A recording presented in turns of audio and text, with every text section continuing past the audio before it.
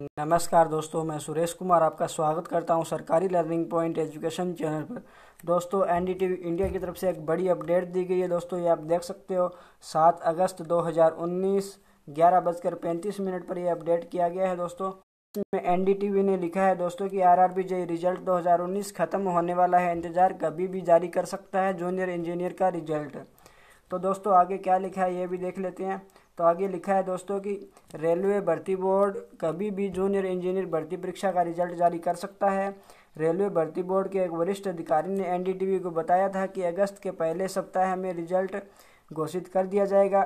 ऐसे में आज सप्ताह का आखिरी दिन है। हालाँकि अभी तक रेलवे द्वारा रिज़ल्ट से संबंधित कोई नोटिफिकेशन जारी नहीं किया गया है।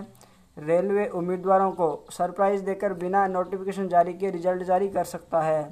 तो ऐसे में उम्मीदवार को अपने रीजन की आरआरबी वेबसाइट चेक करते रहना चाहिए।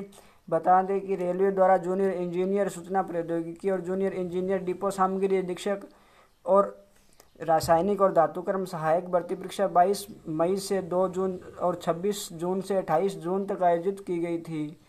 तो दोस्तों, यदि इस न्यूज़ की माने तो आज हंड्रेड परसेंट आने वाला है आरआरबी जेई का रिज़ल्ट। तो ये भी आप देख सकते हो कि ये न्यूज़ है जो अगस्त सात दो हज़ार उन्नीस ग्यारह पैंतीस पर अपडेट की गई है तो दोस्तों इस हिसाब से आज हंड्रेड परसेंट आपका रिज़ल्ट आने की संभावना है दोस्तों